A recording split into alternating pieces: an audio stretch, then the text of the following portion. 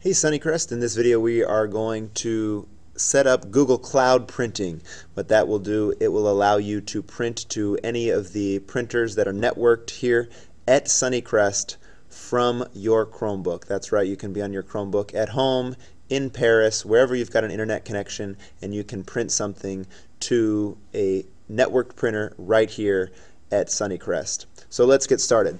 First, this is a must do. You must be at your teacher computer in your classroom. This needs to be on your teacher PC. So let's get started. I'm on my teacher PC in my classroom and I you need to open up Google Chrome. And once you're in Google Chrome, you'll need to open up the settings menu. That's this little hot dog icon up here. And scroll down to settings and click on settings. Now you are advanced. This is an advanced uh, video, so click Show Advanced Settings. Scroll down to Google Cloud Print, and there's only one button here. Click it, Manage. And what are you trying to do? You're trying to add printers, so click the Add Printers button.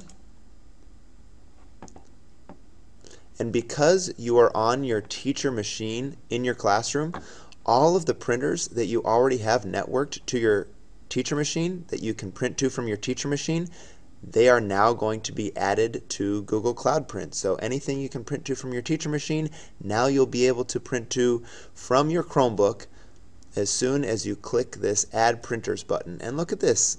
It even will automatically register new printers you connect from your teacher machine. Isn't that great? Thank you, Google. Just click the Add Printers button and that's it. Seriously, that's it. You're ready to go. Now you can open up your Chromebook from anywhere with an internet, internet connection, print something. You, when you go to print the document, just select whichever printer you want to print to that's networked here at Sunnycrest, and bam, the print job will be sent to that printer, and you can go pick it up. Well, happy printing, everyone. That was easy.